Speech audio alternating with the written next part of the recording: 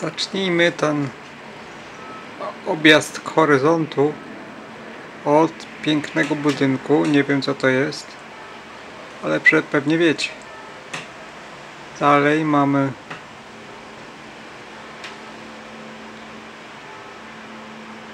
Dalej jest kościół. Tak, nic wcześniej nie ma. Nie, jak to nie? Tu jest budynek. Zaraz za nim są dźwigi. A za dźwigami jest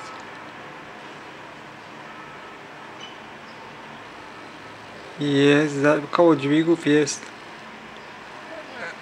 izraelska flaga wisi ambasada izraelska wysoko podniesione czoło nad planetą nad wszystkimi miastami całej ziemi wysoko flaga wszystkie inne flagi się chowają. Nigdzie ich nie widać a tą widać zawsze i wszędzie. Ja już nie będę pokazywał teraz dalej. Dalej, dalej, dalej. Dalej są inne kościoły. Wiele kościołów, wiele kościołów. Potem dźwig jakiś obok tego dziwnego budynku, o którym wiadomo gdzie jest pod którym byłem.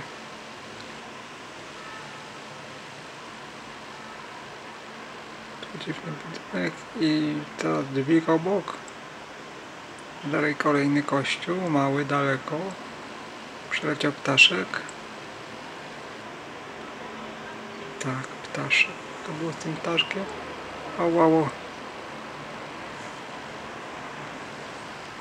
przyleciał ptaszek koło kościoła drugi kościół wielki już więcej dam rady